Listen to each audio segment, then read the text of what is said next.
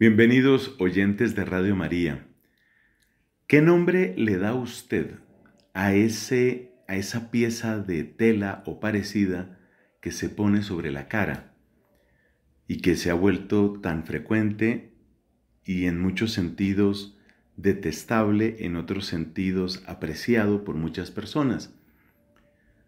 Utilizamos en Colombia con frecuencia la palabra tapabocas, también se utiliza máscara, mascarilla, barbijo. Todas estas expresiones ya sabemos a qué se refieren. El tema es que estas mascarillas o tapabocas han estado en las noticias recientemente porque, por ejemplo, en Alemania, en Londres em, y también en eh, Zurich, en Suiza, se han presentado protestas públicas de mayor o de menor tamaño contra las restricciones que se recomiendan para evitar la propagación del virus. En esto de las protestas debe decirse que hay de todo. Hay personas que consideran que el virus no existe y que todo es un montaje con propósitos sumamente oscuros, por ejemplo, de radical transformación y dominio social. Entonces los que van por esa línea conectan eh, todo este tema del COVID-19 con el nuevo orden mundial y dicen que es una, es una gran patraña.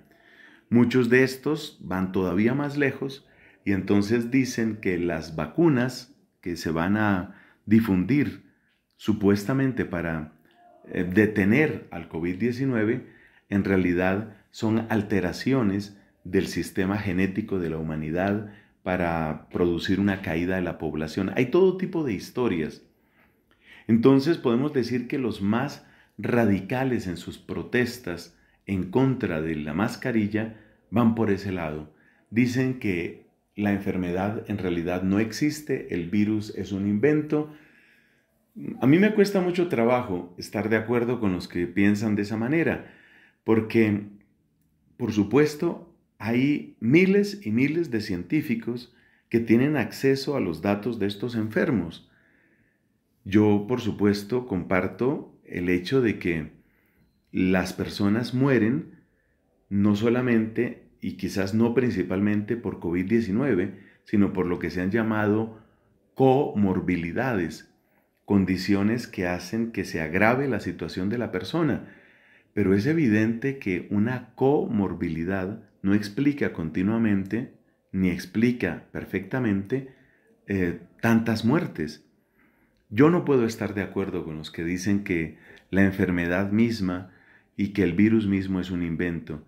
Tendríamos que tener a miles y miles de científicos, de investigadores médicos, en una conspiración absolutamente colosal para mantenernos engañados a todos los demás. No, no, no llega mi imaginación hasta allá.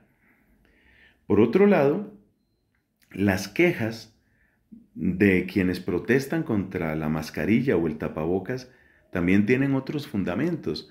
Hay personas que dicen que la efectividad de ese medio de control es, es cuestionable y es cuestionable en muy alto grado. Hay estudios muy serios en ese sentido.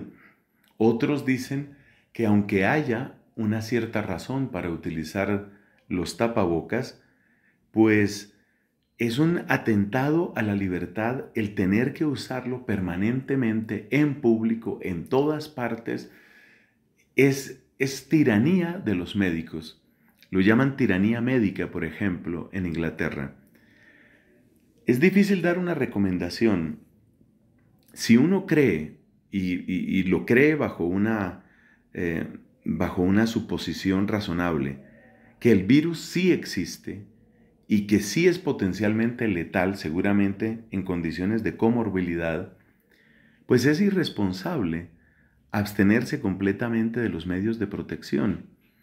Digamos que no podemos ser paranoicos y creer que el virus nos va a acabar em, y va a extinguir a la humanidad, pero tampoco creo yo que sea saludable un llamado a la irresponsabilidad.